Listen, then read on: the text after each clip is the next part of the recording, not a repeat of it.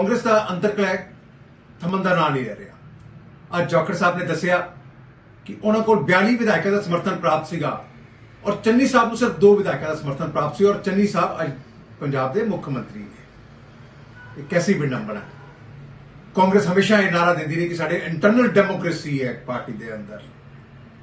ਅੱਜ ਉਹਦੀ ਪੋਲ ਜਾਕਰ ਸਾਹਿਬ ਨੇ ਖੋਲ ਕੇ ਰੱਖ ਦਿੱਤੀ ਆ ਹੁਣ ਵੀ ਮੁੱਖ ਮੰਤਰੀ ਵਾਸਤੇ ਅਸੀਂ ਲੋਕਾਂ ਦੀ رائے ਲਵਾਂਗੇ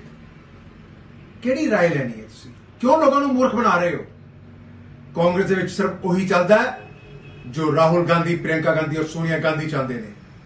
ਜਿਹੜਾ ਉਹਨਾਂ ਦੀ ਰਿਪਰੈਜ਼ੈਂਟੇਟਿਵ ਬਣ ਕੇ ਕੰਮ ਕਰ ਸਕਦਾ ਹੈ ਉਸ ਨੂੰ ਹੀ ਉਹ ਅੱਗੇ ਲਿਆਂਦੇ ਨੇ ਸੋ ਪੰਜਾਬ ਦੇ ਵਿੱਚ ਜਿਸ ਤਰੀਕੇ ਦੇ ਨਾਲ ਜਾਖੜ ਸਾਹਿਬ ਰੰਧਾਵਾ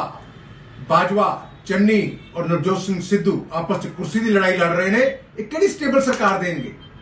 ਇਹ ਕਿਸ ਤਰ੍ਹਾਂ ਦੀ ਸਰਕਾਰ ਦੇਣਗੇ ਇਸ ਗੱਲ ਦਾ ਪੰਜਾਬੀਆਂ ਨੂੰ ਸੁਚੇਤ ਰਹਿਣ ਦੀ ਲੋੜ ਹੈ।